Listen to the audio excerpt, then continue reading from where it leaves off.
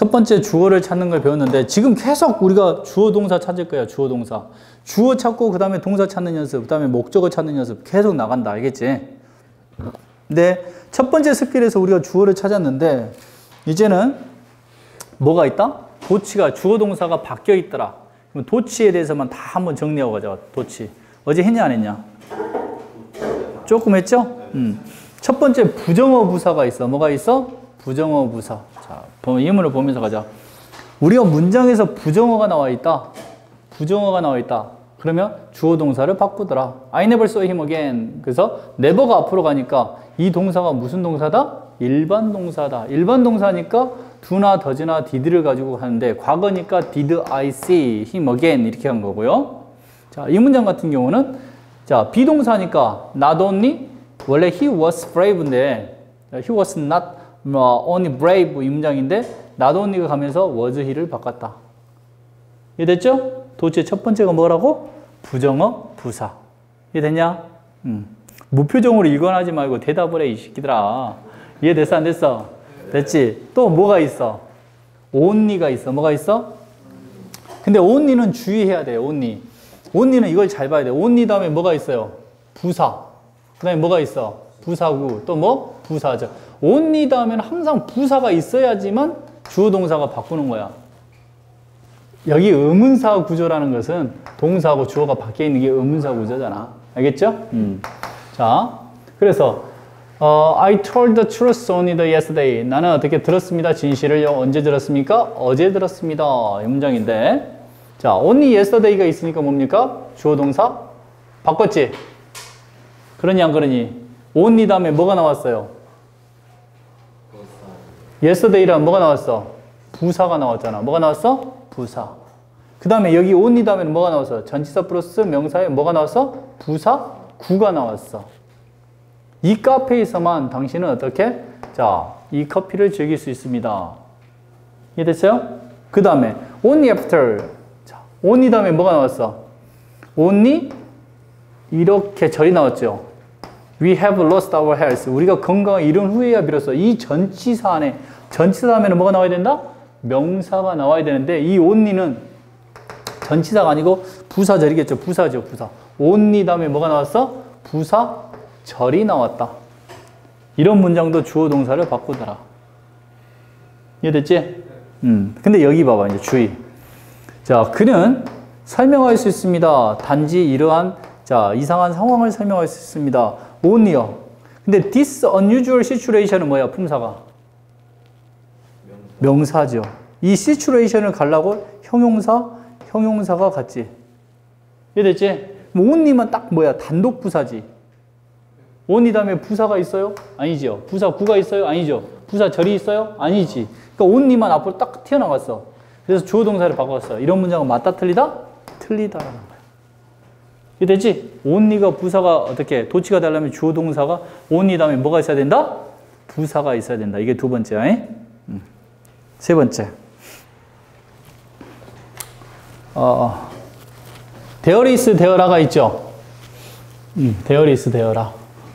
자, there is there are 할 때 주어 동사 바꾸지? 그래 안 그래? 자, 물론 이걸 뭐 구정보의 원칙이다. 뭐 유정 자, 구정보 우선의 원칙이다. 유주어의 원칙이다. 이런 거 있는데 설명을 생략하기로 하고요. 자, 세 번째. 네 번째. 장소 부사가 있어. 뭐가 있어? 장소 부사. here라는 게 장소 부사가 있죠? 그래 안 그래? 근데 here가 있는데 여기서 주의해야 돼. 따라 here it is. here it is. 주어 동사 바꿨어 안 바꿨어? 대명사가 주어일 때는 안 바꿔요. 알겠어? 뭐든지 주어가 대명사일 경우는 대부분 안 바꾼다. 근데 here가 장소 부사가 갔는데 일반 명사야. here teachers come 이럴 때 teachers come이 아니라 here comes teacher. 여기 선생님이 오고 계십니다. 알겠죠? 이거 주의. 따라해 장소 부사. 장소 부사. 자, 첫 번째 뭐 있었어? 부정어. 두 번째 only 부사. 세 번째 장소 부사. 그다음에 there is, there라. 유도 부사. 자, 어저께 했던 거 다시 한번 복수. 삼형식 문장이다. 몇 형식? 삼형식. 주어, 동사, 목적어에서 목적어를 강조하려고 어떻게 간다? 목적어가 앞으로 가고요. 주어, 동사가 된다겠지? 그러니 안 그러니? 그래서 자 그가 깼습니다. 뭘 깼어? 그 약속을 깼습니다. 그래서 그 약속이 앞으로 나오고 주어 동사가 바로 나왔다. 몇 형식? 3형식 도치. 자, 그 다음에 2형식 동치가 있어요. 주어 동사 보호에서 보호가 어디로 간다? 앞으로 가고 이제 바꿔버려. 알겠지? 주어하고 보호를 바꿔버려요. 자, 이건 왜 그런다고? 주어가 길다고. 알겠죠? 도주 사람들인데 어떤 사람들? Who know the uh, pleasure of doing good. 자, 이렇겠죠?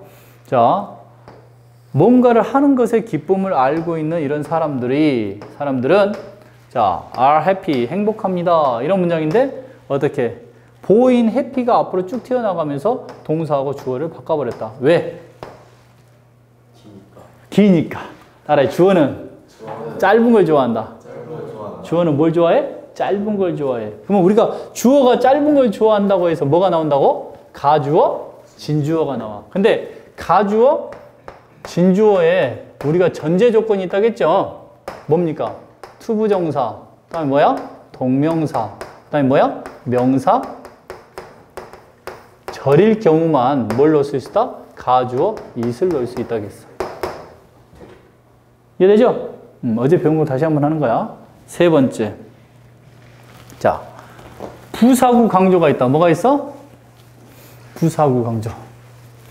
아, 우리 어제, 어제 여기서 하나 배우면서 또 하나 있었지. 뭐 있었어? 주어, 동사, 목적어, 목적격 보호일 때. 이걸 두 개를 바꿔버렸죠. 어, 목적어가 길어서 주어, 동사, 목적격 보호, 목적어로 어제 바꿨어. 이거 배웠죠? 그 다음에 부사 강조. 어, he filled the duty so well. 그는 어떻게? 자, 그 의무를 다 했습니다. 의무를 수행했습니다. 너무 잘. 이러면서 이건 부사죠. 이 부사를 앞으로 빼면서 주어 동사를 바꾸더라. 다음에 부사 강조.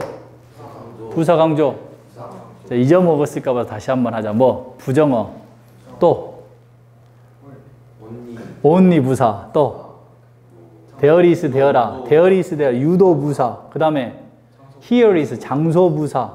그 다음에 일형식 아니다 삼형식 도치, 이형식 도치, 오형식 도치. 그렇죠? 그 다음에 뭐야? 부사 강조. 알겠죠? 음. 그 다음에 또 하나 있어. 가정법 과거. 가정법에서 만약에 내가 부자라면 그 다음에 나는 어떻게? 자 모든 사람들을 도와줄 수 있다. 그래서 가정법에서 if가 생략이 되면 주동사 바꿨죠? 이해돼? 음, 따라해 가정법에서 if를 생략하는 경우 if를 생략하는 경우는 뭐다? 주어 동사를 바꾸더라. 이해되셨죠? 자, 그래서 이 문장을 다시 한번 정리하니까 선생님 책에는 우리가 이렇게 나왔어요. 뭡니까? 부정어 부사 강조. 부정어 부사일 때 주어 동사 바꾼다. 그 다음에 장소 부사고, only 부사고, 유도 부사.